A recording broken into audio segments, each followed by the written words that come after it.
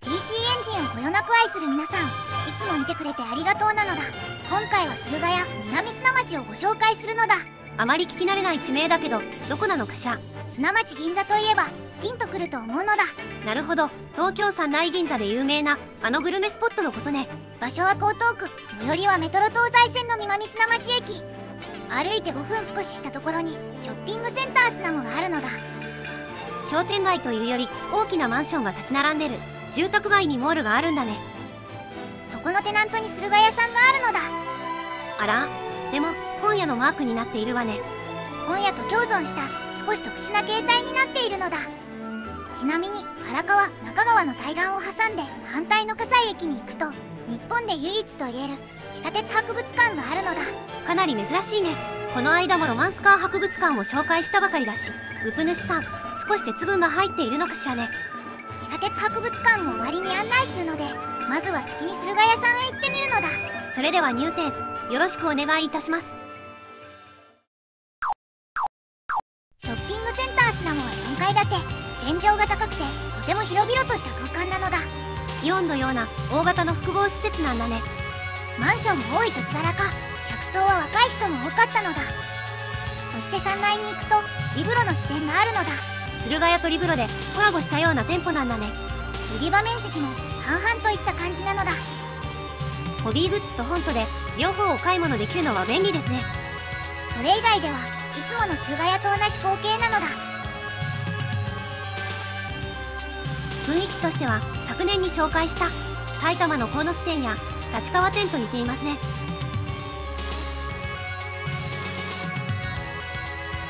ゲームコーナーでは福袋10本セットの詰め合わせもあるのだ。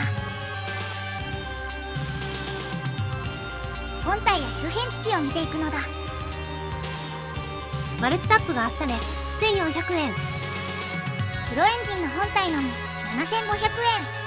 こちらは箱付きで2万。コントローラーはないけどデュオ RX ショーケース類を見てみるのだ。ナイツ・オブ・ザ・ラウンド2万円。ウプ主さん持ってたけど前に行っちゃった。プレステのキュイーン3万6800円。初期にひっそりと出たシューティングだね。山猫バブジーの大冒険。スーファミの珍しいプレミアゲーですね。駿河屋さんだと5万円しちゃうんだね。PC エンジンマンのゲイングランド。入手しづらいソフトの一つだね。マッドストーカー1万4200円。数少ないアーケードカード用ソフトなのだイメージファイト2 1万2800円。こちらもだんだん値上がり傾向にあるのだ。ネクス R スペシャル1万8400円。サマーカーニバル版の方なのだ。続いてレトロゲーの棚を一通りご紹介。ファミコンは買い漁られてしまったのか。隙間が多い印象ね。それでも一部のタイトルにはキラリと光るものもあったのだ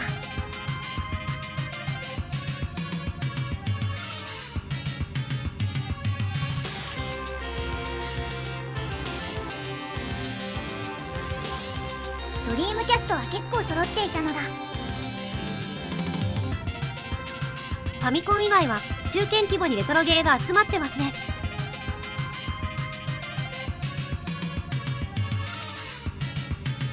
それでは PC エンジンの棚をご案内するのだ。総数としては150本近くはあったかな。Q カードから CD までバランスよく揃っているわね。3桁で買えるものから1万円近いものまで。価格帯もまあまあ幅広かったのだ。ではいつものように1本ずつお願いします。高価格帯のものから代表格のジャッキーチェン。駿河屋巡りではすっかりおなじみのソフトとなってきましたね。精霊戦士プリガン。1万2100円。こちらもこのお値段付近が定番になってますね。スーダラツ9300円。しばらくしたら1万円超えそうな勢いですね。続いて中堅どころから低価格帯もチェックするのだ。テクモワールドカップサッカー1350円。実は J リーグ誕生以前の92年に発売されてました。スペースインベーダーズ復活の日メインとなる分家モードでは大きくパワーアップして派手に楽しめるのだ。丸ごとザワールド2タイムマシンにお願い。お買い求めしやすいお値段だね。パワーリーグのヒューカード最終作93だけ高いのでコレクター向けアイテムなのだソードマスター発売はライトスタッフ。93年末に出たシミュレーション RPG なのだ。パチオくんシリーズの笑う宇宙版だね。PC エンジンでは4作品出たのだ。コレクターだと間違って重複して買いやすいので注意してほしいのだ。こちらはちょっと色あせが激しいね。T474700 円。発売は a イコムから地味ながら楽しめるアーケードからの移植作。割と BGM も良い曲が揃っている倉庫版ワールドメディアリングの参入第1弾ソフトでもありました。新日本プロレス94バトルフィールド。サブタイトルはパッと見分かりにくいけど東京ドームなのだ。アーケードカード専用ソフトでもありますね。後期に出たのでファイクル女子に比べると知名度は低いかも。コナミシューティングからグラディウスは4600円。サラマンダの方はちょっと高くなってて6300円のようですねナムコシューティングからはドラゴンセイバーが6650円。お隣のギャラ川ミニでも収録されてますね。ウィザードリーのワンツ4450円。PC エンジン市場では5と違って高値圏。手塚先生の青いブリンク。フルプレイ攻略の動画も上げているのでよかったら見てくださいね。以上でソフトの紹介はおしまいです。ずんちゃんミマミス生地店の感想はどうでしたか？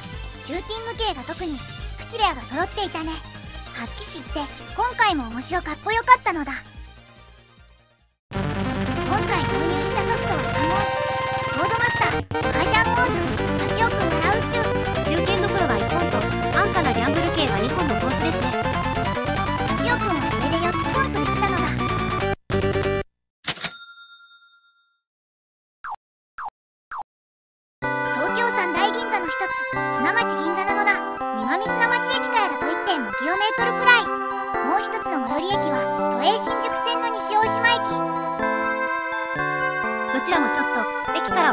いそうね。そうなのだ。なのでバスを使ってもいいと思うのだ。立地は必ずしも優れているわけではない。それでも人気がある秘訣は毎月10日に行われるアカネ市といったイベントや全長 670m に及び180もの店舗が並んでいるからなのだ。戸越銀座や十条銀座とはまた違った特徴を持っているね。福主さん的には日暮里にある谷中銀座も大好きなのだ。谷中は下町情緒にも溢れていて外国人観光客も多いわよね。駿河屋さんでお買い物した後はこちらで食べ歩きするのもおすすめなのだ。活気もあるしお買い物もグルメも楽しめそうね。穴場の観光スポット国内でここしかない地下鉄博物館。葛西駅から降りてすぐ目の前にあるのだ。葛西っていうとリア充向けの葛西臨海公園と水族館が有名だけど鉄オタ向けの観光スポットもあったのねそうなのだ。駿河屋のあるショッピングモールから約 4km 南砂町駅からも2駅ですぐに来れるのだ。入場が改札口ってのも面白いね。入場料もたったのに120円なのだ。すごく安いわね。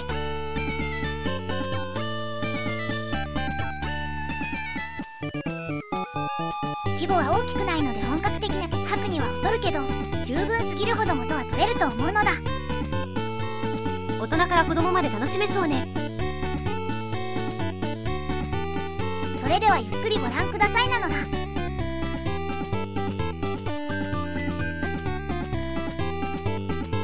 運転体験もできるんだね。